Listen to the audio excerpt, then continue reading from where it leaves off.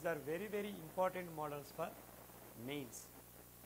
See here, see the sixth question first. A solid has a structure in which atoms of element W are located at the corners of the cube and O atoms are at the center of edges and the sodium atoms are at the center of the cube. Then what would be its formula? This kind of questions how to solve? First we have to identify, first we have to check where the atoms are present. At corner, at face center, at body center, at voids or at edge center.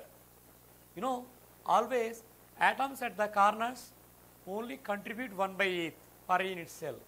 At face center 1 by 2. At edge center 1 by 4. At voids complete atoms.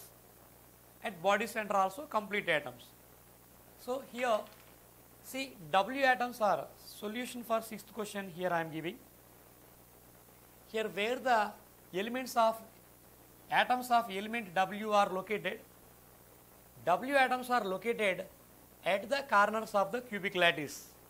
So at the corners means how many atoms? Total 8 lattice points.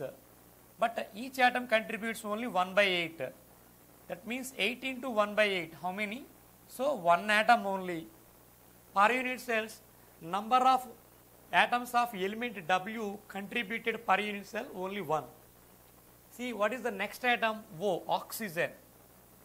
Now this oxygen, where the atoms of oxygen are present, oxygen atoms are at the center of edges. So here uh, not mentioned how many edges, that means complete uh, total 12 edges we have to consider. So a cube has how many edges? Yes, 12 edges. If edge center contributes how much? One fourth. So here edges we have 12, each edge center atom contributes 1 by 4. That's why number of oxygen atoms 3 per unit cell, number of oxygen atoms 3.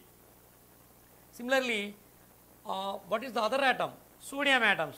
These are present at the center of the cube. So, where the sodium atoms are present? At the center, body center. Body center means it is complete atom.